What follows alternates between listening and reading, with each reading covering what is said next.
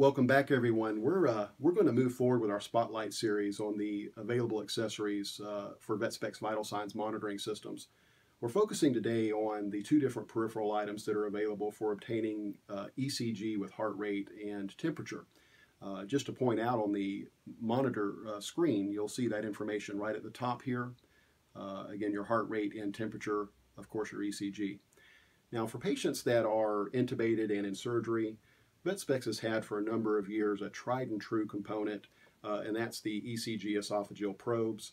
Uh, three different sizes that are available. You basically just choose the size uh, according to the weight of the patient, insert the uh, probe into the esophagus, and uh, again, you're going to get that, uh, that information. for patients that are in dentistry, possibly recovery, or, or, even intensive care, VetSpecs has launched the brand new combo cable and uh, that's what you see here in front of you. And all that you simply do is uh, attach the connector port right into the ECG temperature port uh, of the main module that VetSpecs utilizes. You then uh, attach the white uh, ECG limb plate to the right front limb. Uh, there is a contact plate, your choice of conduction, whether it be alcohol, saline, or conduction gel.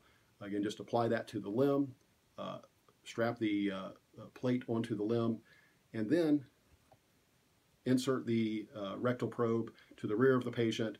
So two simple connections, you're going to obtain that very important information. Uh, and, and that is pretty much it. Really, in a nutshell, that summarizes the two different options. Thank you for joining us, and we'll see you next time.